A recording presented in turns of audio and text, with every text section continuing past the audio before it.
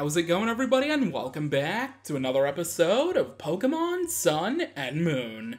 Last time, we finished up the mini trial of sorts with Kagatora at the Thrifty Megamart, getting an Eevium Z for our troubles. And this time, we're going to be showing off the Island Scan feature.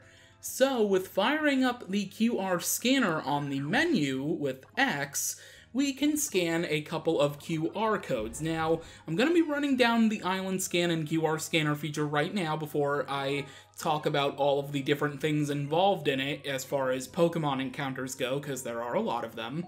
So, by scanning QR codes, you can mark a Pokemon as seen in your Pokedex if you haven't already, and I will leave a link to the website I specifically used for scanning these QR codes throughout this entire episode down in the description below.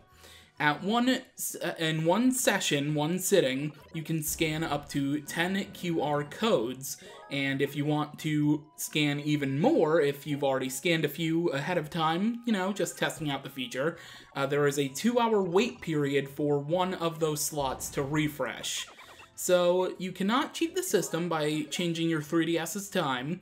It will reset the slots that are available to use for scanning QR codes to zero each and every time, so don't even think about it. Trust me, I learned that from experience. Uh, you can't also scan in the same QR pattern over and over again per island scan, so unfortunately, you can't keep scanning in a Rowlet QR code over and over. So each scan is worth 10 points for normal QR patterns, but special patterns like Magearna, who we got uh, many episodes ago now at this point, those QR patterns are worth 20 points. Every 100 points will net you the ability to use the Island Scan feature, where different Pokemon will appear depending on the island you're currently on, as well as depending on the day of the week.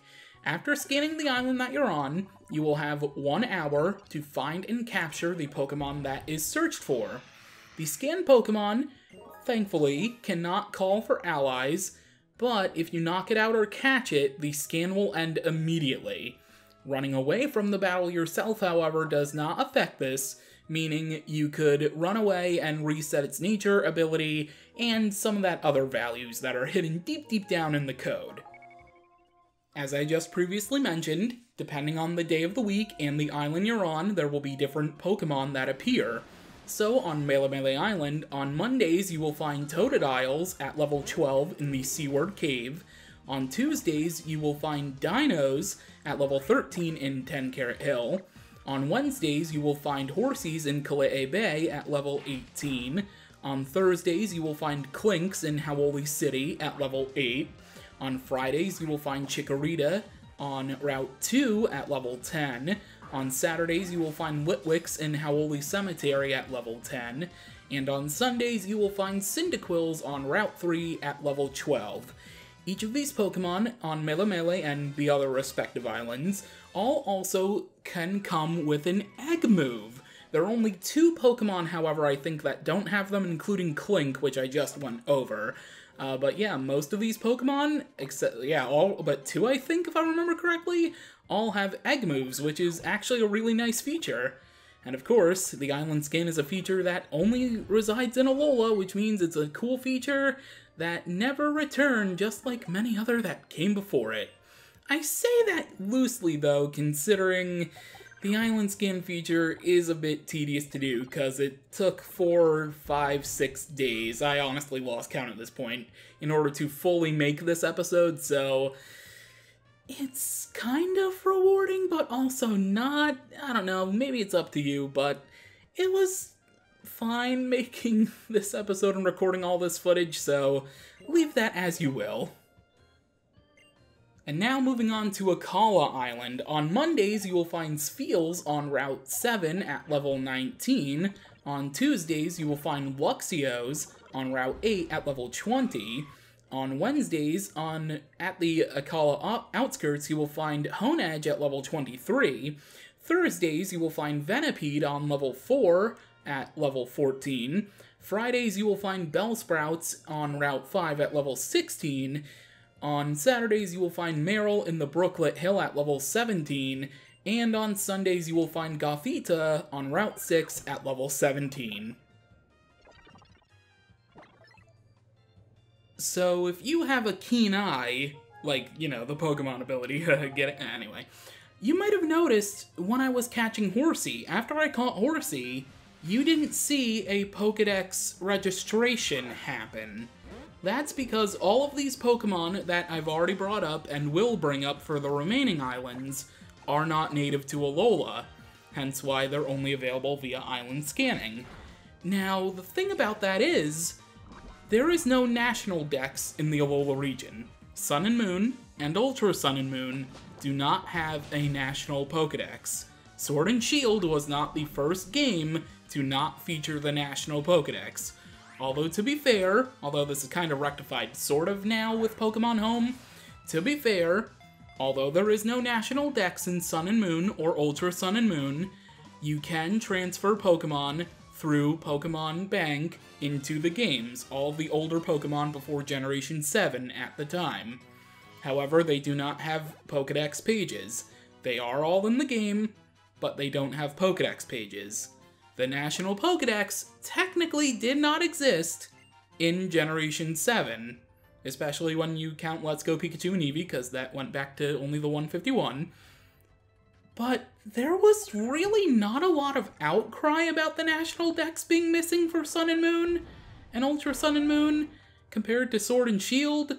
I uh, honestly don't understand why. Maybe it was the whole situation, like I said, Pokemon Bank, you could technically transfer all of them into the game, but they don't have Pokedex descriptions. There are 500 plus Pokemon that don't have Pokedex descriptions in Sun and Moon, because the National Dex didn't exist in Sun and Moon either. And yet, people freaked out in Sword and Shield. I'm not one to judge, but I think it's a little hypocritical personally. I like how I said I'm not one to judge and then I judged anyway. I think it's a little hypocritical how people didn't really freak out about no national Pokedex in Sun and Moon, and then Sword and Shield happened, and maybe it's situations mixed with Sword and Shield's development that didn't really help, but there was no national Pokedex in Sun and Moon either, so uh, I'm just saying, maybe the hate that Sword and Shield got wasn't really warranted. Moving on to Ula'ula Island, on Mondays you will find Swinubs at the Tapu Village at level 31. On Tuesdays you will find Duosion on Route 16 at level 33. In the Ula'ula Meadow on Wednesdays you will find Roselia at level 34. On Route 10 on Thursdays, you will find Staravia at level 27. On Fridays, you will find Vigoroth on Route 11 at level 27. On Saturdays at Mount Hokulani, you will find Axews at level 28. And on Sundays at Blush Mountain, you will find Rhyhorn at level 30.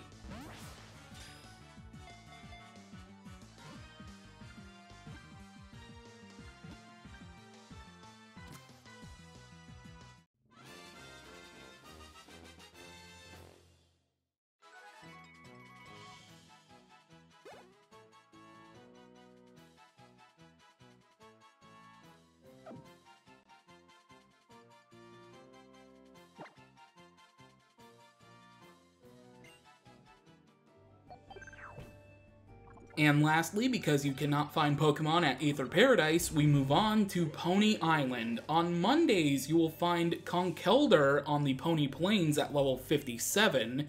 On Tuesdays in the Poni Gauntlet, you will find Togekiss at level 59. On Wednesdays in the Poni Meadow, you will find Leavanny at level 57. On Thursdays at Exeggutor Island, you will find Serperior at level 43. On Fridays in the Poni Wilds, you will find Samurott at level 43, and Saturday you will find Emboar at level 43 at the Ancient Poni Path. And then Sunday, last but not least, is Eelektross in the Poni Grove at level 55. Honestly, I love Gen 5, but even still, Poni Island honestly offers the best island scan Pokemon, not gonna lie.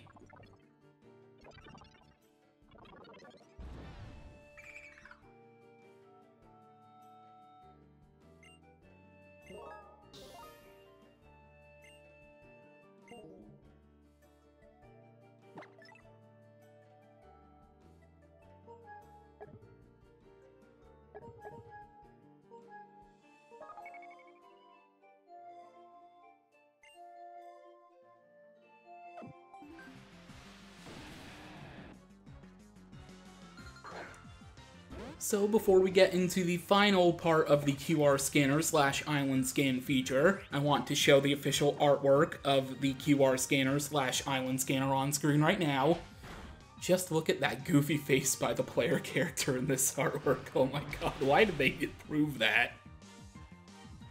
And to wrap up this episode, there are actually five special QR code patterns that were released, I think, officially, via global missions, like the second global mission they ever did in the Festival Plaza, uh, to earn points, obviously. So here are the special five QR patterns worth 20 points each, which conveniently will net you a pretty much freebie island scan, any island that you want it.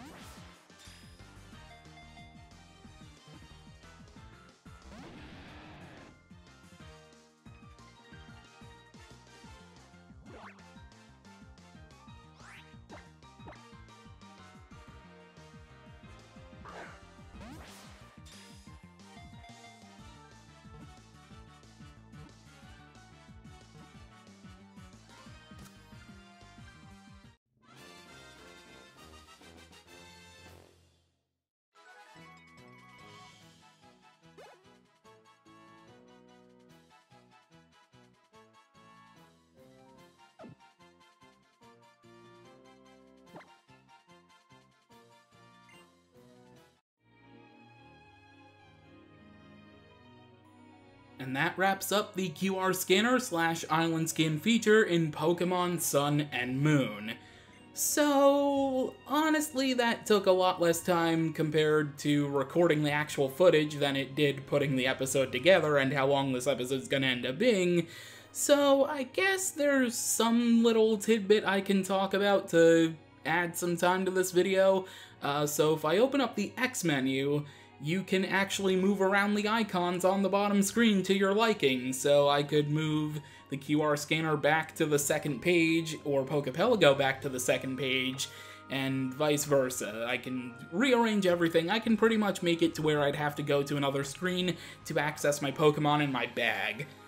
It's kinda cool. I wish, you know, it wasn't such a throwaway thing, and they don't even point it out to you. It's just like, hey, you have a touchscreen, so you can rearrange this how you want it. They never really talked about that, like in game or just in general, like in real life, they don't point that kind of stuff out. So, in case you wanted to mess around with your X menu, then there you go. That's uh, that's a thing for you. Anyway, that is going to do for this episode of Pokemon Sun and Moon. And honestly, I don't really know what I'm gonna do next time, cause there's still some more things I can do before going back to the Pokemon League and defending my Alola Championship. So I'll probably leave the next episode a surprise as well, at least to me, because you'll already know what it is based off the title and the thumbnail. But until then, thank you for watching, and I will catch you later.